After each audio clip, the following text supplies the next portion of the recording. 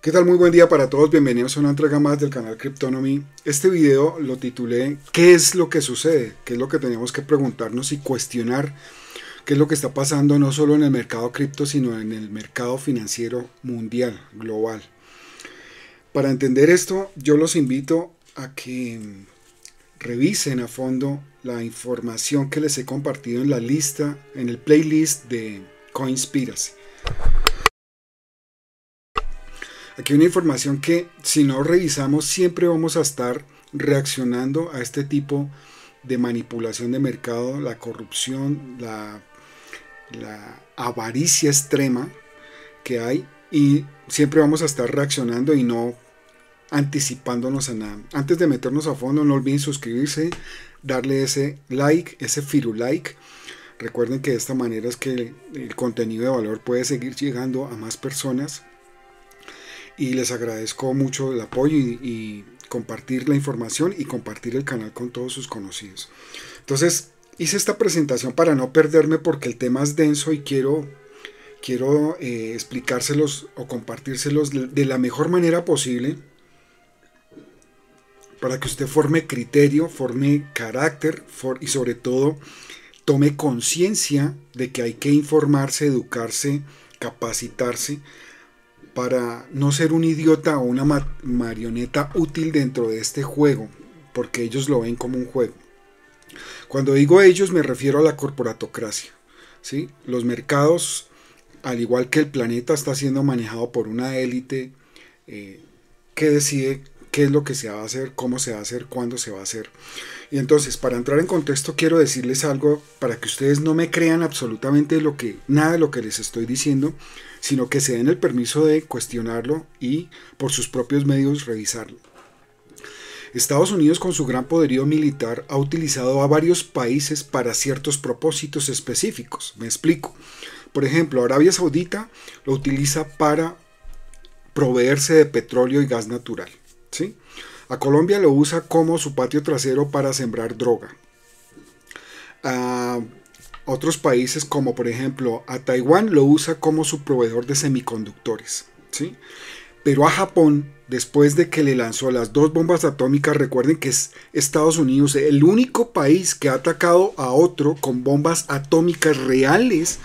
Hiroshima y Nagasaki no son ningún invento, ningún dato histórico. Y luego de que hizo eso, perdónenme la expresión, pero convirtió a Japón en su perra, en su lacaya.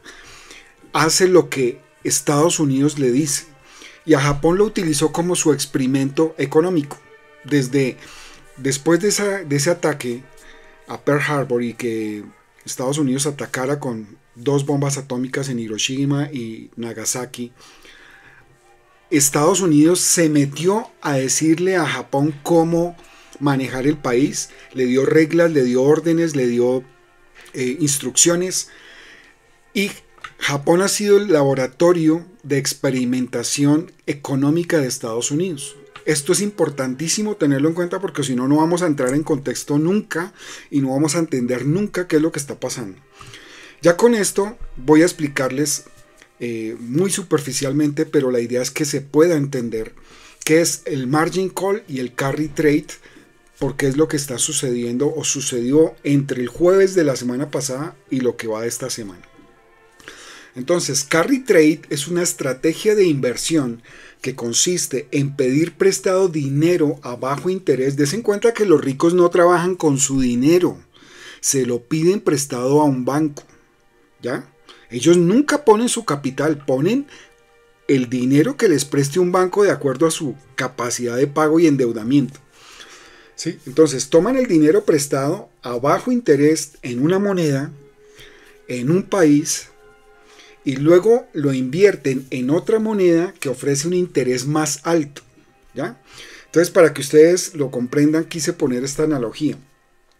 Podrías prestar sacar dinero prestado en yenes japoneses a una tasa muy baja y usar ese dinero para comprar dólares norteamericanos e irte a la bolsa, comprar acciones en la bolsa o comprar bonos del tesoro, etcétera, donde haya una mayor rentabilidad.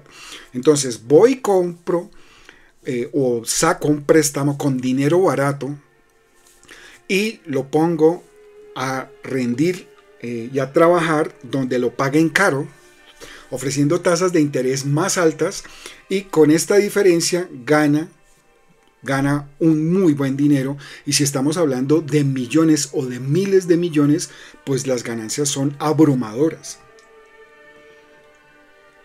También cuando hay movimientos a la baja, las pérdidas son monumentales, ¿no? Esto es importantísimo tenerlo claro. Ahora, ¿qué es el margin call? Imagina que quieres comprar una casa, pero no tienes todo el dinero, entonces pides un préstamo al banco y usas parte de tu dinero como garantía. Si el valor de la casa baja mucho, el banco podría pedirte que pongas más dinero para cubrir la garantía, porque el valor de tu casa se depreció, que fue lo que hicieron con la burbuja inmobiliaria del 2008 Lehman Brothers y sus hipotecas subprime. ¿sí? Esto es un margin call. En el mundo de las inversiones funciona de manera similar. Si el valor de tus inversiones cae por debajo de cierto nivel, tu broker te pedirá que aportes más dinero o de lo contrario te liquida la posición. ¿Listo? Ahora miremos esto. Como les decía, eh, el laboratorio de experimentación económica de Estados Unidos es Japón y gracias a que lo domina y es su perra, perdón por la expresión, pero es para que ustedes lo entiendan, está sometido Japón a Estados Unidos. Desen cuenta que desde 1997 98 en adelante, Japón tenía las tasas de interés en cero e inclusive algunas veces cayó a menos cero, como aquí y por aquí.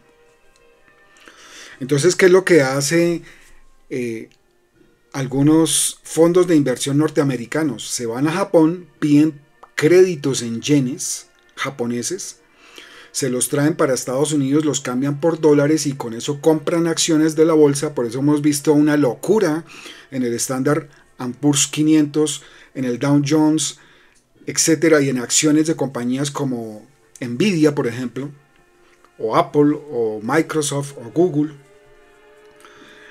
Y entonces compran, compran créditos o sacan créditos con tasas de interés 0 o menos 0 o, o 0.05, 0.01, que es prácticamente nada, y se llevan esos yenes, eh, aprovechando que el dólar también está fuerte, se los llevan a Norteamérica e invierten en la bolsa, en acciones, en fondos, en bonos del tesoro, etcétera. Entonces le sacan un montón de dinero a, esa, a ese préstamo que sacaron en yenes en Japón. Aquí vemos la comparación entre la tasa de interés de Japón, que es la línea azul que ven ustedes aquí abajo, y la tasa de interés promedio de Estados Unidos, que es esta gris, miren. Y esta es la diferencia de la cual se estuvieron aprovechando muchos desgraciados, corruptos, malnacidos y fondos de inversión con información privilegiada. Van a Japón, al Banco de Japón, sacan yenes, los cambian por dólares y vienen e invierten y miren, estaban haciendo una fortuna con esto. Fortunas enormes con esto a costillas del pobre Japón. Japón devaluado, eh, con una inflación hiper altísima, detenido en el tiempo debido a este experimento social porque los salarios no han aumentado en 30 años la inflación no aumentaba en 30 años, o sea, Japón quedó congelado en el tiempo gracias a este experimento que le obligaron a hacer los norteamericanos. Ahora si miramos acá, esta es la comparativa que hay entre las tasas de interés eh, japonesas, europeas y norteamericanas. Entonces norteamericano en gris, Europa en rojo y Japón en azul para que usted se dé cuenta. Des en cuenta que Europa copia como con una cierta latencia o un periodo después de que Estados Unidos hace lo que hace, ellos copian todo, mire, lo copian tal cual, porque también son serviles a Estados Unidos y a su poder militar. ¿Por qué todo el mundo le hace caso a Estados Unidos? Es por su poder militar, porque lo puede invadir y como se aprobaron ellos mismos la ley patriota, pueden invadir cualquier país en el momento en que se les dé la gana y someterlo. Es así de simple. Ahora miren esto. Recuerden aquí que el Banco de Japón no había tocado las tasas de interés por 30 años. Aquí, en el 2024, más o menos hacia junio, subieron solo un 0.1 las tasas de interés, de 0,0 a 0.1. ¿Sí? Y miren lo que empezaron a causar. Desen cuenta cómo el Banco de Japón y la economía japonesa son tan fuertes y tan importantes a nivel macroeconómico que con solo subir las tasas un 0.1% empezaron los problemas. Y el problema se desató el jueves pasado cuando esa tasa se subió otro 0.115, o sea, quedó en 0.25%. Ni siquiera estamos hablando de un punto completo, estamos hablando de un cuarto de punto. Y miren el, debacle financiero tan, tan impresionante que se causó con esto. Entonces vamos a explicarlo lo más detallado posible para que usted comprenda la raíz y el origen de todo esto y no se deje eh, llenar de miedo el corazón, no se deje desinformar, no se deje tergiversar la información. Y esto es así como funciona. En esta imagen, se lo, en esta infografía se lo, se lo condenso. Dinero barato en Japón, van, toman créditos en yenes, vienen, lo invierten en dólares en la bolsa o en bonos del tesoro, obtienen un profit altísimo, ganancias, y con las ganancias vienen y pagan el préstamo que obtuvieron. Ahora, ¿qué es lo que pasa? Aquí se combinaron muchas cosas, ¿no? El yen japonés estaba en la inmunda, estaba barato, estaba caído, las tasas de interés en cero, o sea, mejores condiciones para pedir créditos no habían. Y el dólar estaba fuerte por fuera, entonces con los dólares que obtenían, al cambiarlos por yenes, tenían muchísimo más de lo que habían obtenido en préstamos. Entonces tenían un superávit. Se volvieron locos comprando acciones, invirtiendo en, fondos de inversión, en bonos del Tesoro de los Estados Unidos. Ahora, ¿qué pasa el 9 de junio de este año 2024? Uno de sus lacayos o serviles, que es Arabia Saudita, dijo no más. Con Arabia Saudita tenían otro complot, otra conspiración llamada petrodólar que consiste en que solo se podía vender petróleo por parte de Arabia Saudita usando al dólar como instrumento de pago o como moneda de pago. ¿Sí? Esto funcionó desde 1972 hasta este año, el 9 de junio, en que Arabia Saudita dijo no más, yo voy a vender el petróleo en la moneda que a mí se me dé la gana que me paguen, ya no renuevo este contrato o este acuerdo y se suspendió eso. Eso hizo que el dólar se pusiera débil. Y entonces con un dólar débil, ¿qué empezó a pasar? Que ya no tenían el mismo circuito que tenían estos desgraciados, del cual se lucraban fácilmente. El dólar empezó a caer su poder adquisitivo, a perder.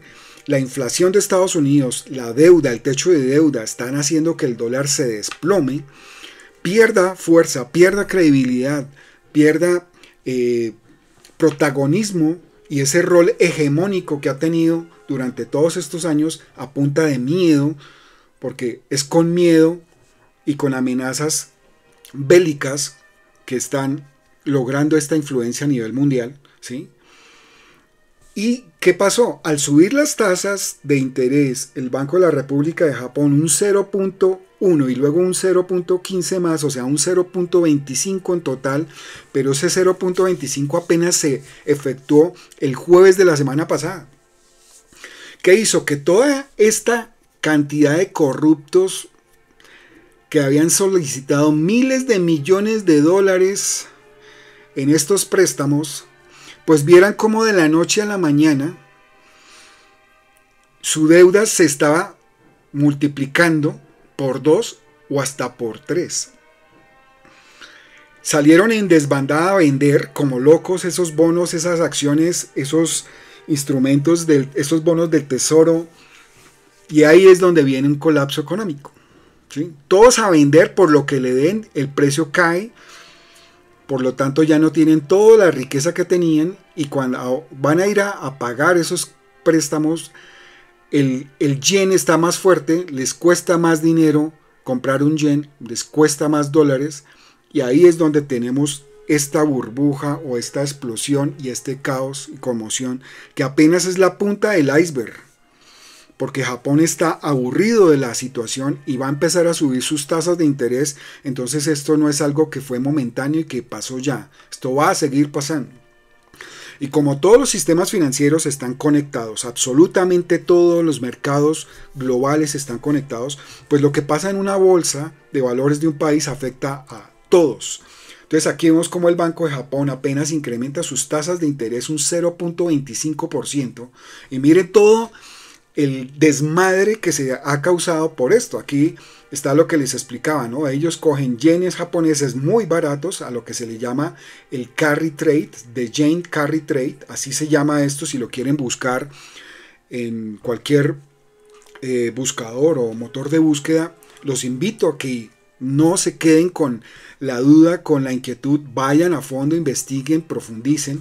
Entonces aquí el Banco de Japón y su director eh, Kazuo Ueda habla de que en esta conferencia ellos están empezando a tomar medidas porque tienen que cambiar la realidad de la economía de Japón y ya parece que se están sacudiendo, no se están dejando eh, influenciar ni dirigir por Estados Unidos y tomaron esa medida que apenas es un 0.25, repito, es que esto, esto es imposible que con solo este movimiento se haya hecho semejante impacto global.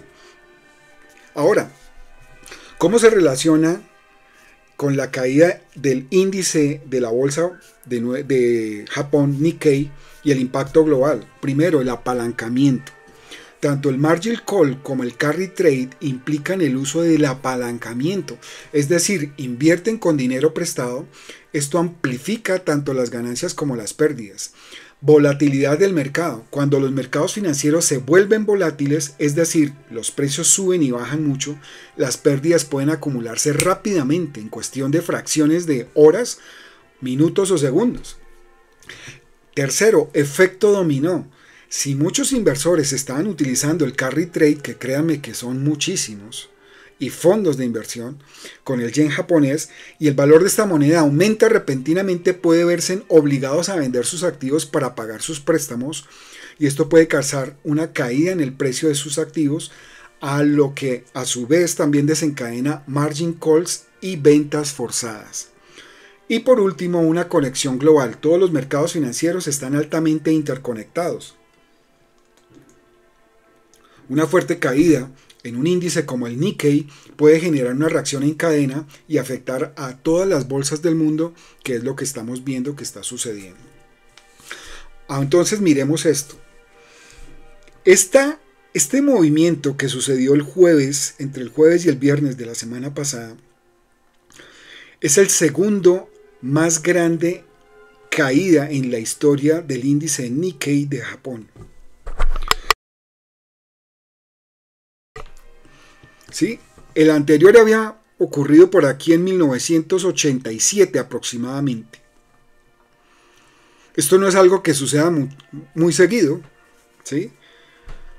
Pero son como las sacudidas que hace Japón para decir, me han usado, pero todavía tengo algo de dignidad, algo de respeto y voy a empezar a tomar medidas. Miren que esto sucedió aquí, estremecieron todo y de ahí para allá empezó una remesón, Des en cuenta que aquí venía muy parecido a como estaba acá.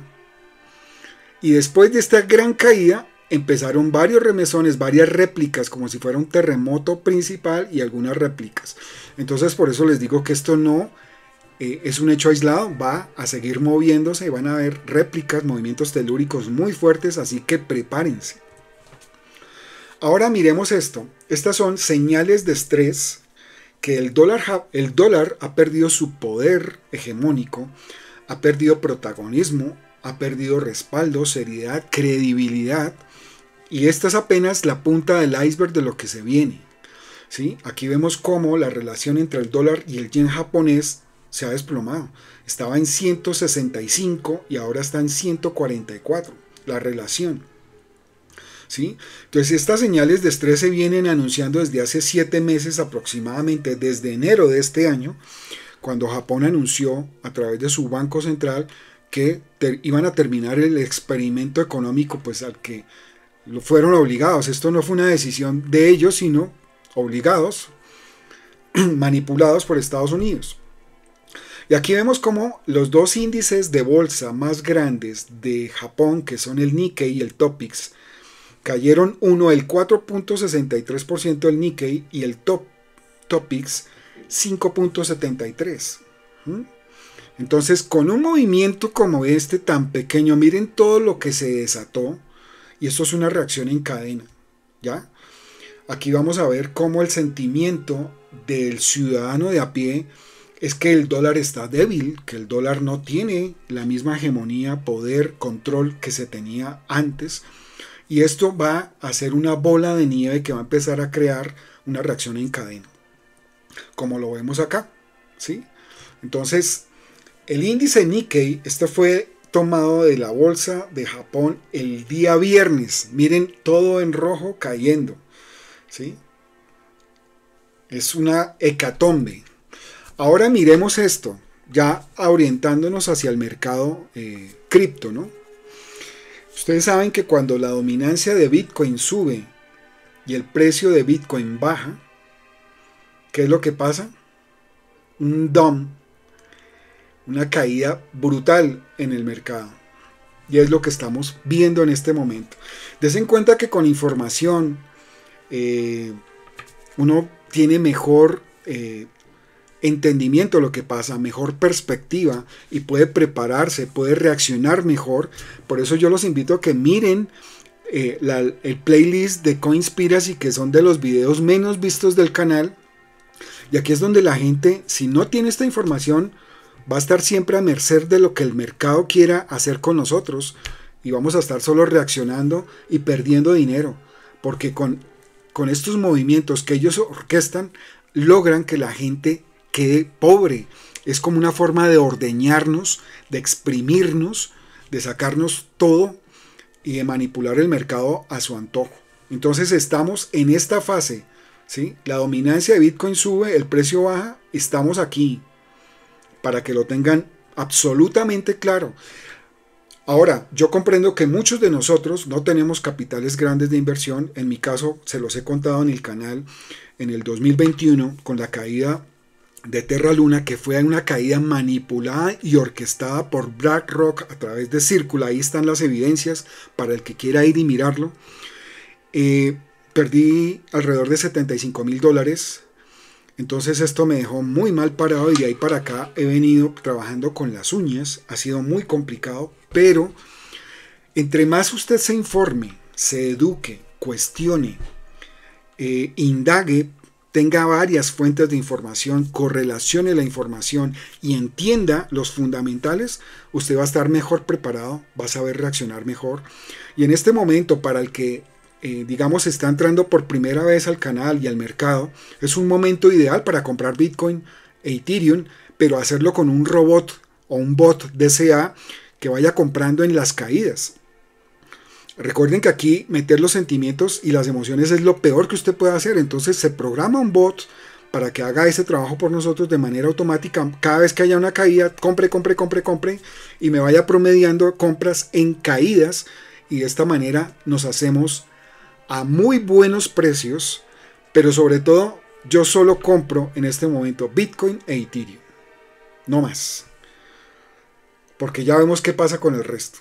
Entonces, sigamos. Esta es la dominancia de Bitcoin, como se los mostraba aquí. Si la dominancia de Bitcoin sube pero el precio baja, estamos en este momento en esto.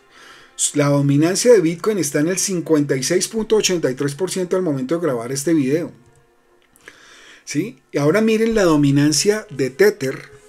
La vela que se pegó aquí. ¿Sí?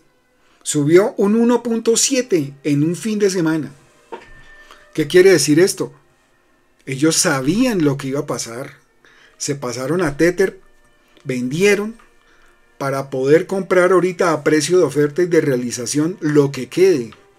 Están esperando que la gente llena de pánico, llena de miedo, venda su Bitcoin al precio más barato posible para ellos comprarlo instantáneamente. Miren ahora el índice Nikkei tuvo una caída de 30%. ¿Mm? Miren la caída que tuvo Bitcoin, 30%. Miren lo que Berkshire Hathaway, el fondo de inversión de Warren Buffett, vendió justo unos días antes del jueves.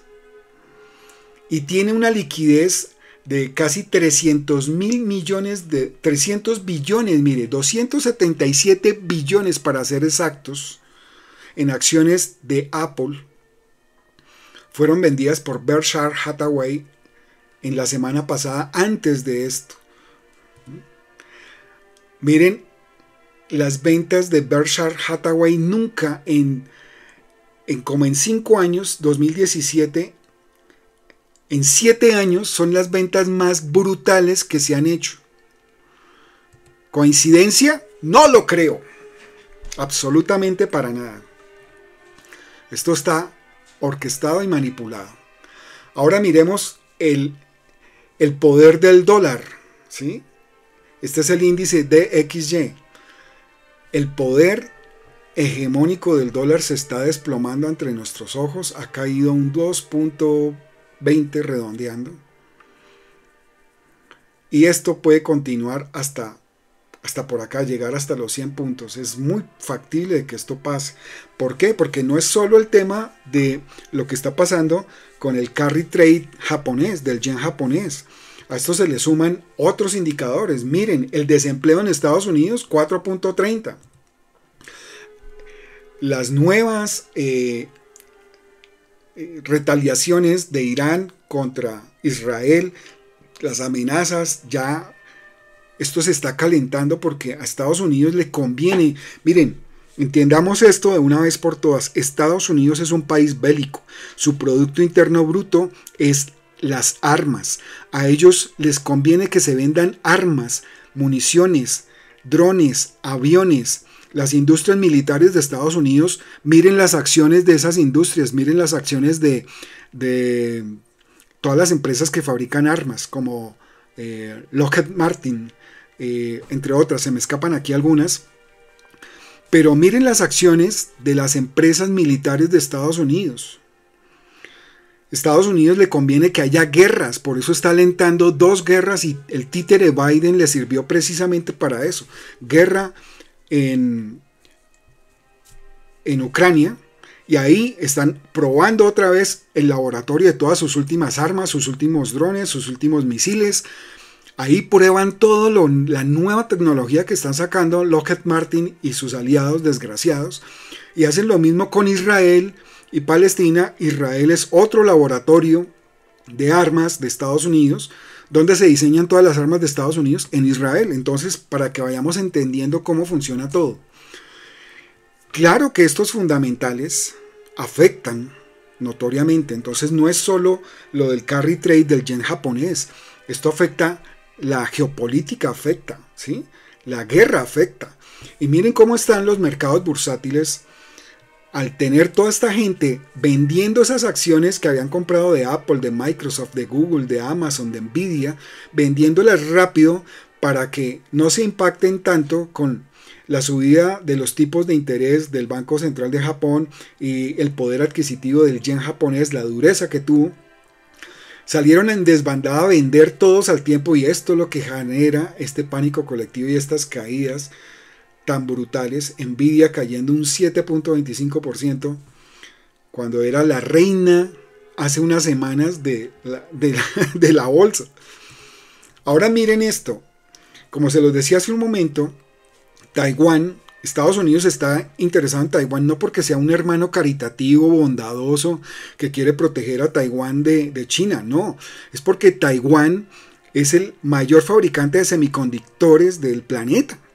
Y ellos necesitan semiconductores para todo y sobre todo para la inteligencia artificial y las armas que fabrica Estados Unidos. Entonces, si vemos el índice de la bolsa de las acciones de de Taiwan Semiconductor Company tuvieron la caída más grande desde 1980 y algo, casi como 90, 88, 90. Miren, cayeron, aquí había caído un 9%, aquí cayó un 10%. ¿Coincidencia? No lo creo, vuelvo y repito. Aquí vemos eh, en el canal de Twitter de WhatsApp Guru, que es una de mis fuentes de información, una de mis fuentes, recuerden que no se queden con una sola. Yo siempre voy a la fuente nativa, voy a la bolsa, voy a las acciones, voy a las páginas fundamentales. Y entonces miremos aquí el Dow Jones, cómo se impactó. Vemos el Standard Poor's 500, cómo se impactó. Vemos cómo las acciones de Nvidia, que estaba generando Nvidia en toda la, eh, la narrativa de inteligencia artificial. Y esta es como un resumen. Google 11% de caída, Amazon 10%, Microsoft 9%, Nvidia 11%. Apple 10, Meta 10, Tesla, las tecnológicas. Por lo tanto, arrastraron el índice Dow Jones al piso. Si las más grandes caen, el índice de tecnología se va al piso. Miren ahora lo interesante y aquí es donde les invito a que con redoble de tambores le presten atención a esto. BlackRock, Fidelity, Grayscale, MicroStrategy no han vendido un solo Bitcoin de sus ETFs spot de Bitcoin al contado. ¿Coincidencia? No lo creo. Ahora, des en cuenta cómo Estados Unidos ha ido subiendo las tasas de interés y en este momento tiene que empezar a bajarlas o se va a dar un tiro en el pie otro de los tantos que ya se ha dado. ¿Sí? Porque esto es brutal lo que está pasando con los billones de yenes japoneses con los cuales se inundó el mercado y ahora hay que deshacerse de ellos y venderlos a precio de realización, precio de oferta. También están las elecciones de Estados Unidos, que esto es lo más manipulado, lo más mediático, lo más eh, tergiversado posible. Y aquí es donde eh, yo quiero mostrarles una imagen que, que tengo en la cual se puede ver muy rápidamente eh, la diferencia entre, entre lo que es la manipulación y la realidad. Entonces denme en un momento, la busco acá. Esta es la imagen. Esta es la imagen para que ustedes la vean. Entonces, tiempos duros crean hombres fuertes. Hombres fuertes crean buenos tiempos. Buenos tiempos crean hombres débiles y hombres débiles crean tiempos duros. Y esto es lo más importante, esto es lo que hace los medios de comunicación manipulados. ¿Cómo se controla un país? Controlando los medios de comunicación de televisión, radio, prensa, redes sociales, etc. Entonces, esto es lo que está pasando en la realidad, ¿sí? Esto es lo que está pasando en Ucrania, en Israel, en Palestina, en la franja de Gaza. Miren, ¿sí? Y esto es lo que nos transmiten y nos muestran vía televisión. Entonces en cuenta que esto es lo que está mostrando la cámara. No se dejen influenciar por los medios tradicionales. Si usted se informa por un medio tradicional está siendo manipulado. Déjeme decírselo. Salga de ese, esa zona de confort y de esa comodidad e indague por su cuenta. Yo lo invito a que indague por su cuenta para que salga de esa zona en la que nos tienen metidos a través de los medios tradicionales de comunicación. Bitcoin sigue siendo lo que sigue siendo. Bitcoin no se afecta en, sus fundamentales. Aquí lo único que se está viendo es la manipulación y el control de los grandes fondos de inversión que quieren comprar el Bitcoin del ciudadano de a pie a, a precio de oferta y a precio de realización. Si usted tiene Bitcoin, no lo venda. Y si tiene las formas de comprar a estos precios, compre. Bajo su propio riesgo y responsabilidad. Recuerden que esto no es ningún consejo o recomendación de inversión. Simplemente le estoy diciendo lo que el mercado está dando. Está dando precios de oferta y precios de entrada para el que conociendo esta información fundamental entiende lo que están haciendo y puede tomar provecho de esta información privilegiada. Bitcoin y Ethereum son los, las herramientas o los, los criptoactivos más fuertes, sólidos eh, y sobre todo Bitcoin. La forma de hacerlo, la mejor forma de hacerlo de una forma inteligente y estratega es con un bot de SEA. Miremos ahora. estos crashes vienen sucediendo. Estados Unidos es el país por excelencia en fabricar burbujas y luego explotarlas y sacar provecho de esto. Esto lo ha hecho toda la vida. Y el que no conozca esta historia está condenado a repetirla. Esto viene pasando desde los tiempos inmemoriales. Recuerden, yo vi un documental que sacaron en History Channel que se llama Gigantes de la Industria, que muestra cómo se conformó el imperio del petróleo con John D. Rockefeller, el imperio económico financiero con JP Morgan, el, el emporio de los trenes con eh, Comodoro Vanderbilt, ¿sí? y el emporio económico del acero con Andrew Carnegie. Desde ahí ellos están poniendo presidentes, se reunían ellos, ponían cada uno de a 100, 200 millones de dólares, compraban presidentes, hacían sus leyes, hacían lobby. Desde ahí se está haciendo esto, esto no es nuevo. Y el que no comprenda esa historia está condenado a repetirla. Japón ha sido un idiota útil en esta carrera eh, amenazado. Después de dos bombas nucleares les tocó arrodillarse, bajar la cabeza y decir sí. Y eso es lo que está pasando.